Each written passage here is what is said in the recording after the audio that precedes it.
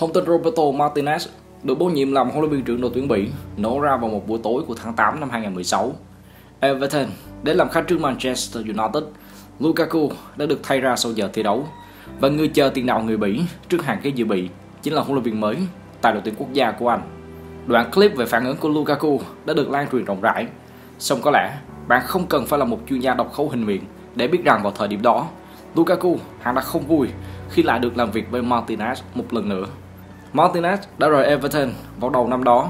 Lukaku đã đưa ra bình luận. Đội bóng đã thi đấu không tốt. Chúng tôi chỉ thắng 2 trong số 11 trận gần nhất. Khi sự rạn nứt giữa huấn luyện viên và cầu thủ lên đến đỉnh điểm, mọi thứ trở nên khó khăn. 5 năm đã trôi qua, quan hệ giữa Lukaku và Martinez dần tốt hơn. Dưới thời chiến lược gia người Tây Ban Nha, Lukaku có hiệu suất làm bàn trung bình ổn hơn. Những bàn thắng đã giúp Bỉ trở thành đội bóng xếp trên đỉnh thế giới kể từ tháng 9 năm 2018 và họ chuẩn bị hứng kỳ World Cup thứ ba liên tiếp góp mặt Tuy nhiên, câu hỏi luôn được đặt ra ở đây, nhiệm kỳ 5 năm qua của Roberto Martinez liệu có được xem là thành công cùng với đội tuyển Bỉ? Bỉ cũng đang có một thế hệ vàng chưa từng có trong lịch sử của họ với Lukaku, Kevin De Bruyne, anh em nhà Aza, Alvaro, Courtois, vân vân xuất hiện cùng một lúc thì việc lọt vào đến bán kết World Cup, UEFA Nations League và tứ kết Euro liệu có xứng tầm với họ? Để triều đại của Martinez được xem là thành công, cựu huấn luyện viên của Everton có nhất thiết phải giành lấy một danh hiệu sau thất bại tại Euro 2016 cùng Mark Wilmot, ba người chịu trách nhiệm về việc bổ nhiệm người mới và vị trí huấn luyện viên trưởng tuyển Bỉ là giám đốc kỹ thuật Van Prevede, Park Verhaeghe và phó chủ tịch của Liên đoàn bóng đá Bỉ Mehdi đã đồng loạt chọn ra duy nhất cùng một cái tên Roberto Martinez. Baya đã chia sẻ với The Athletic. Chúng tôi biết ông ấy và chúng tôi biết ông ấy đã làm gì tại nước Anh. Ông ấy có thể không phải là huấn luyện viên hàng đầu. Tuy nhiên, ngay khi ông ấy bắt đầu nói chuyện với chúng tôi, chúng tôi đã biết Roberto Martinez là một người rất đặc biệt. Tuy nhiên, dễ nhìn thấy việc bị giao phó một đội hình đầy tài năng cho một huấn luyện viên được xem là không đủ giỏi tại Everton cũng là một canh bạc khó hiểu, đôi khi là quá sức với Roberto Martinez. Áp lực và kỳ vọng đặt lên Martinez sẽ là khổng lồ. Poissonier nói tiếp, đây là thế hệ mà chúng tôi có một lần trong đời. Không có một thế hệ nào khác có thể so sánh được, đặc biệt là ở hàng thủ. Danh hiệu chỉ có thể đến bây giờ hoặc không bao giờ. Đó là thế hệ này hoặc không bao giờ. Trong suốt sự nghiệp của Martinez, thành công lớn nhất của ông ấy là chiếc FA Cup 2013 cùng với Wigan. Xong, đội bóng này cũng phải sớm nói lời tạm biệt Premier League khi rớt hạng 4 ngày sau đó. Điều tương tự cũng gần như xảy ra ở Everton. Mùa giải đầu tiên tại thành phố Cảng, Martinez cho thấy sự cường điệu trong phong cách huấn luyện. Ông giúp cho The Toffees về đích thứ năm. Nhưng đến tháng 3 trong mùa giải thứ hai, Martinez thừa nhận Everton đang đứng trước nguy cơ rất hạn. Đội chủ sân Goodison Park sau đó hồi phục để xếp thứ 11, xong đến mùa giải thứ ba, mọi thứ đã sụp đổ. Các mối quan hệ cá nhân, một trong những ưu điểm của Martinez cũng đã không còn. Ông dường như sợ phải đối đầu và những cuộc trò chuyện đầy khó khăn. Những câu chuyện trong mùa giải đó cũng là một ví dụ tiêu biểu.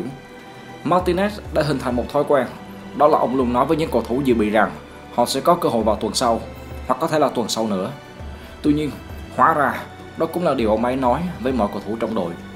Chẳng bao lâu sau, tất cả cầu thủ sẽ nói chuyện với nhau và nhận ra rằng 22 người trong số họ đều nghĩ rằng mình sẽ góp mặt trong đội hình xuất phát và các vấn đề có thể nảy sinh. Đó chỉ là một trong vài khi cành nhỏ, nhưng dần dần nó đủ lớn để dẫn đến các mối quan hệ tan vỡ mà Lukaku đã từng đề cập. Roberto Martinez thường bị chỉ trích vì có xu hướng quay lưng lại với những cầu thủ đã nỗ lực và đáng tin cậy. Martinez không thích mạo hiểm với các cầu thủ trẻ hơn. Jeremy Doku, 19 tuổi, là một ngoại lệ. Còn Shark De Ketelare, cầu thủ 20 tuổi xuất sắc của Club Brugge, thậm chí còn không có mặt trong danh sách triệu tập. Tại các giải đấu lớn gần đây, Bỉ đã thất bại hai lần trước những nhà vô địch sau đó. Ở World Cup 2018 là trước Pháp, Euro 2020 mới đây là trước Italia. Ấn tượng duy nhất mà Bỉ để lại tại một giải đấu lớn là màn ngược dòng 3-2 trước Nhật Bản ở World Cup 2018.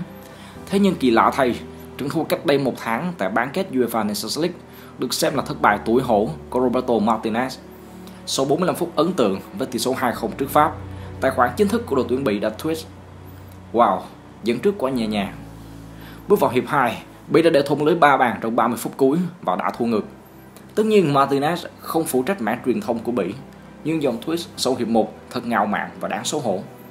Thất bại ở Turin cũng đã khiến Liên đoàn bóng đá Bỉ nhảy vào cuộc để nhìn nhận vấn đề. Giám đốc điều hành Peter Polsak gọi kết quả trận đấu đó là sự thất vọng.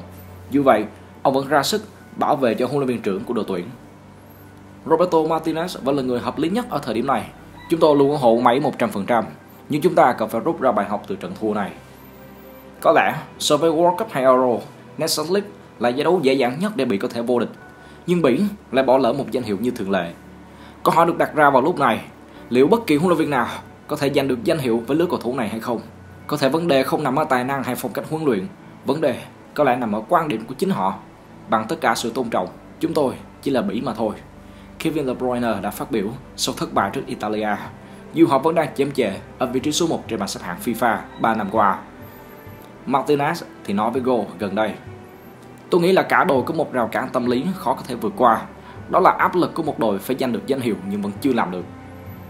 Tất cả những điều đó chỉ làm rõ hơn bức tranh khá ám đạm về nhiệm kỳ của Martinez tại đội tuyển Bỉ.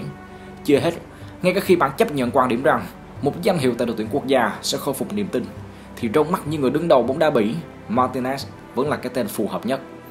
Nguyên nhân được đưa ra, Martinez đã đến và dọn dẹp đống lộn xộn tàn dư từ thời Mark Wilmot. Chiến lược gia người Tây Ban Nha đã nhặt từng mảnh ghép và lắp thành một tập thể đoàn kết với nhiều cá nhân xuất chúng. Ông ấy đã mang đến động lực chiến đấu cho toàn đội Đội bóng có rất nhiều cầu thủ là những ngôi sao lớn tại các giải quốc nội, nhưng họ đã trở thành một đội điều tưởng chừng như không thể trước đây. Dù vậy, khi nhìn vào hành trình đội tuyển Bỉ, ta vẫn thấy được sự mất cân bằng. Bỉ chưa bao giờ có một hậu vệ trái đủ giỏi và đáng tin cậy. Trong nhiều năm, Jan Vertonghen đã phải chơi không đúng sở trường. Và khi chuyển sang chơi sơ đồ ba trụ về. Thorgan Hazard hoặc Yannick Carrasco để bị dồn vào vị trí wingback một cách miễn cưỡng. Tại Euro vừa qua, Martinez phải đối mặt với một hàng thủ già cỗi được đúc thành từ những Tobias Alderweireld 32, Thomas Vermaelen 35 và Jan Vertonghen 34 tuổi. Trong khi De Bruyne, Eden Hazard, Arsene Wenger đều tham gia giải đấu vì chấn thương. Romelu Lukaku có thể là trường hợp ngoại lệ duy nhất tham gia giải đấu với đỉnh cao phong độ. Có một lý do khác để ủng hộ Martinez rằng ông không chỉ là huấn luyện viên trưởng. Năm 2019, Van Pueverde bất ngờ rời bỏ vai trò giám đốc kỹ thuật của liên đoàn để chuyển đến Trung Quốc Roberto Martinez sau đó được giao thêm công việc của một giám đốc kỹ thuật.